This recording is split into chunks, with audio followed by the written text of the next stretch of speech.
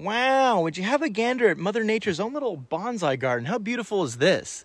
This is a bog, and bog ecosystems are often overlooked because of their soggy soils, small trees, and sometimes funky smells. But these ancient ecosystems are a super important carbon store, biodiversity hub, and in general are pretty dang neat.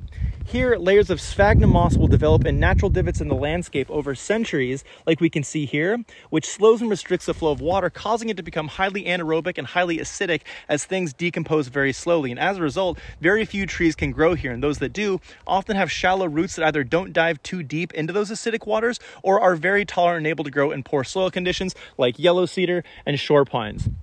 Eventually, though, after enough time, hummocks will form around the bases of these trees as things begin to grow and stack up on the mosses just above the water table, like this crowberry we have here in Labrador tea, eventually tapering off into muskeg forests of hemlocks, red cedars, and spruces where more soil is present, creating a really unique, vibrant, and diverse ecosystem that takes hundreds to thousands of years to evolve, which technically means that this is an old growth forest, though this probably looks a lot different from the old growth forest you imagine in your head. See, Low productivity old growth forests like this one here, or anything with a site index of less than 20, makes up over 80% of the remaining old growth forests left in the province.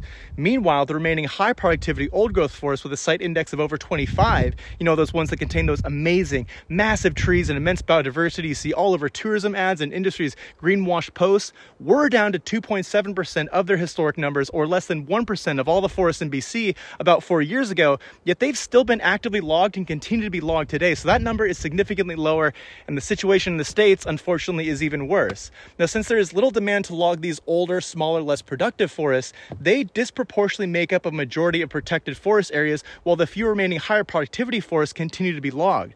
Now, that's not to say that forests like these aren't worth protecting. I mean, they certainly are for their carbon storage and sequestration values, but that their protection is often used as a misleading greenwash veil to the fact that the larger, more biologically diverse and ecologically complex forests are still falling, when what we need is proportionate protections for all forest types to ensure healthy biodiversity, ecological and climate functions are preserved in an uncertain future.